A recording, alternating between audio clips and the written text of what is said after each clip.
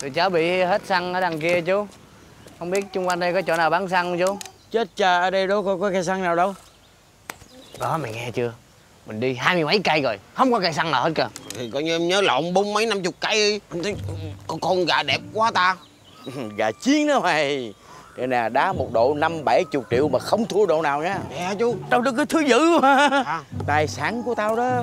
Ồ đúng rồi nhìn mặt con này thấy nó dữ rồi. Ê Ngày mai có độ lớn nè. Chú chú chú mai mấy giờ đá chú? Đá buổi sáng. Không, mai mai đá gà mai đá gà. Mình đang đi kiếm xăng chứ không phải là 8 giờ chuyện đá gà. Anh yên tâm đi xăng lúc nào nó cũng nằm đó thôi. Còn gà đá xong là chết rồi.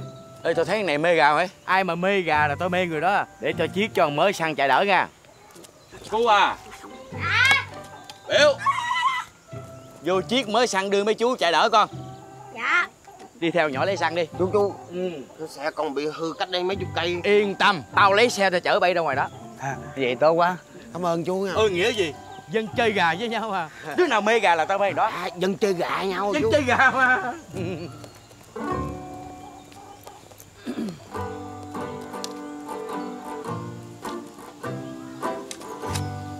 Ôi nhậu quắc nguy hiểm quá. Cho nít chơi ba này rồi chết người. Bắn làng quan tiêu á Ồ, ủa? Ủa mũi tên bay đâu rồi? Ủa cái cổ mà dính cây gì vậy? Trời ơi, trời ơi, chết thằng nhỏ rồi. Trời ơi, trời ơi Má ơi, má ơi, má ơi. Chết con rồi má ơi. gì vậy con. Trời ơi, trời ơi, rõ rồi Chuyện gì vậy con. Má ơi, nó bắn trúng con gà con rồi. Trời ơi, Trời đất ơi Tèo. Mày làm gì? Vậy sao mày bắn tài sản của tao Chẳng thà mày bắn tao chết chứ mày bắn con gà tao chết tao giết mày chết. Em không có ý bắn gà đâu. Nhưng sao? Nhưng con chơi ngu không? Nó cho nít chơi ba cái nhọn nữa nè. Nè anh coi nè cho nít chơi mấy này nguy hiểm luôn. Mà cũng may á hồi nãy em chỉ dương vậy thôi. Em mà kéo hết gà gì mà nó vuột ra một cái hả? À! Ủa?